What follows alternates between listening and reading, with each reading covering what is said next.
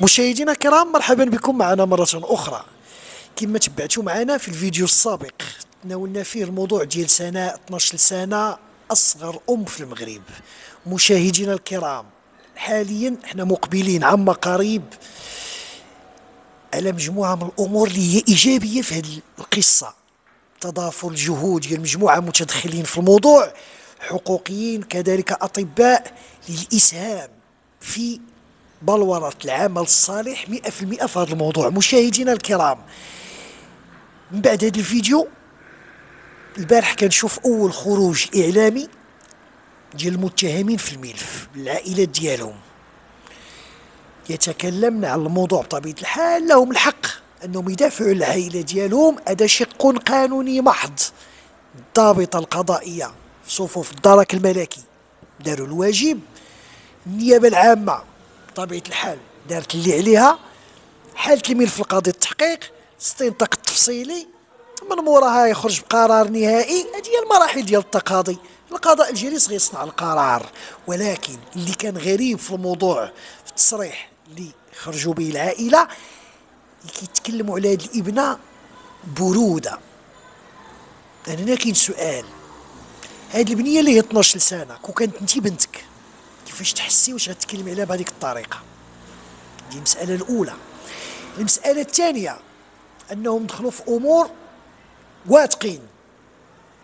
كيقولوا بأنه البنية عندها 16 17 سنه أنا غادي نجاوبهم غادي نقول لهم هذا كلام فضفاض لا يستدل على أدلة وقائع. أنا ما غندويش بالكلام. كما كتشوفوا معنا هذا هو عقد ازدياد ديال الإبنة تزادت في 2010 وحنا في 2022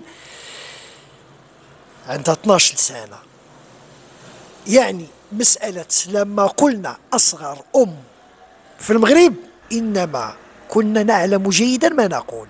مشاهدينا الكرام أنتم كتكلموا على الطفلة عندها 16 عام ولو نفترض هي لا زالت قاصر و 16 عام تعرض لهذا الشيء ينتج عندها هذا الإبن.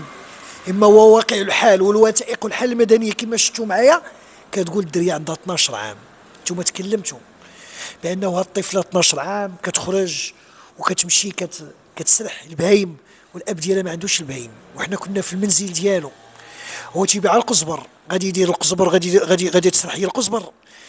مثلا لا نريد أن نغوص أو ندقق في الهوامش.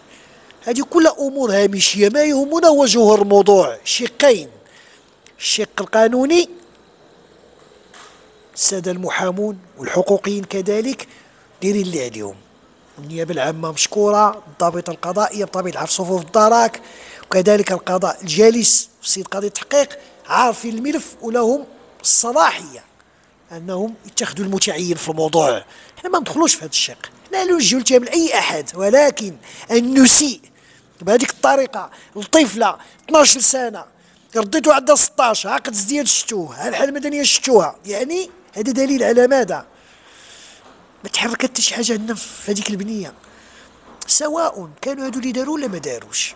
الشق الإنساني البراءة لهذيك الطفلة. وهنا غنرجع للقاعدة باش غنختم. ديري هاد الناس اللي كيتكلموا اللي هما العائلة ديال مرتكبي الجرم. حسب بطبيعه الحال هما متهمين. ولهم الحق في البراءة بطبيعة الحال إذا ثبت عكس هذا الكلام. هذه مراحل ديال التقاضي ولكن حنوا في هذيك البنية لوجه الله؟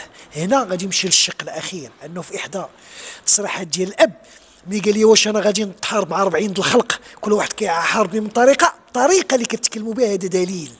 على داك السيد الله يكون معاه ولكن في الأخير المغاربة لهم رأي آخر. هناك تضافر جهود من أجل محمد والعائله ديالو والابنه في أوروبا في المغرب في خارج المغرب كل شيء مشكور.